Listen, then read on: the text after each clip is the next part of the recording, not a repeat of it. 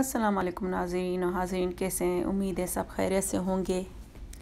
तो आज मैं बनाने जा रही हूँ बीफ बर्गर्स तो उसके लिए मुझे जो है ना, चाहिए बीफ का कीमा और उसमें डालने के लिए मैंने यूज़ की हैं वाइट पेपर पाउडर और सॉल्ट नमक और काली मिर्च पाउडर तो ये जो है ना, मैं कीमे में डालूँगी। कुटी हुई लाल मिर्च हरी मिर्च जो मैंने अच्छी तरीके से उसको चॉप कर लिया था, वो मैं डालूँगी और उसके बाद मैं डालूँगी अदरक लहसुन का पेस्ट वन टेबल स्पून और ब्रेड क्रम्स वो मैंने हाफ़ कप डाली हैं।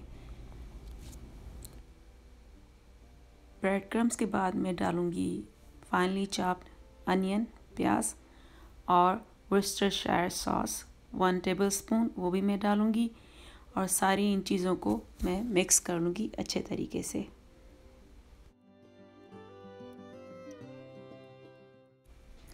मिक्स करने के बाद मैं जो है ना, एक ही तरह के, एक ही साइज़ के जितने मेरे बंस हैं तो उसी हिसाब से मैं जो है ना पेटी बना लूँगी। इनमें से पहले तो मैं बॉल बनाऊँगी और फिर मैंने जो है ना एक जार थी प्लास्टिक की, उसका मैंने ढकना लिया था। और उस पर ये मैंने प्लास्टिक रैप रख के इस पर थोड़ा सा फ़र्स्ट टाइम जब मैंने यूज़ किया था मतलब बनाया पेटी तो मैंने थोड़ा ऑयल लगाया, फिर मुझे ज़रूरत नहीं पड़ी। तो थोड़ा ऑयल लगा के इसको आप अच्छे तरीके से प्रेस करेंगे और निकालेंगे। निकालेंगे तो आपका पेटी जो है ना बहुत अच्छे से शेप का बन जाएगा। ये मैं बताऊँगी, ये मैंने ट्रिक जो है ना एक यूट्यूबर हैं, Baba R R C food मेरे ख्याल में, उनसे मैं सीखी हूँ। ज़ाहिर बात है, हम भी कुछ सीखे हैं, वरना और कुछ एक्सपीरियंस से भी इंसान सीखता है। तो ये मैंने उनसे अभी कुछ टाइम हुआ है मैंने उनसे सीखी है, मैं क्यों झूठ बोलूँ? मेरी अपनी कोई क्रिएशन ये नहीं है। बाकी ये कि पेटी वगैरह वो जो है ना मैं बनाती रहती हूँ तो ये कुछ मेरी है, कुछ कहीं सीखी भी हैं हमने तो जो मुझे आता है वो मैं आपके साथ शेयर कर रही हूँ। और झूठ नहीं बोलूँगी, जो मुझे आता है, जो मैं सीखी हूँ, वो यही है। तो फिर मैं जो है ना इन पेटीज़ को जो है ना मैंने फ्राई कर लिया था। थोड़ा सा ऑयल डालकर पैन में टू टेबल स्पून तकरीबन, फिर मैंने इनको फ्राई कर लिया था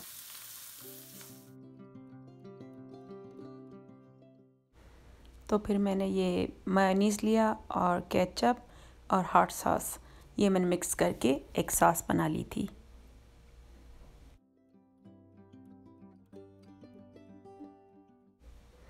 तो पेटी मेरे बन चुके हैं। बर्न्स को, उनको भी मैंने पैन में सेक लिया था, थोड़ा सा ब्राउन कर लिया था, उनको मैंने और ये चीज़ें जो स्टॉपिंग के लिए वो मैंने साथ में रख ली थी lettuce tomato black olives cheddar cheese jalapeno pickle jalapeno जो मतलब सिरके मिले हुए होते हैं मिर्चें और प्याज स्लाइसेस वो सारी जो है ना मैं आपको दिखा रही हूँ कि कैसे मैं असेंबलिंग कर रही हूँ। ये मैंने असेंबलिंग में थोड़ी मिस्टेक की थी।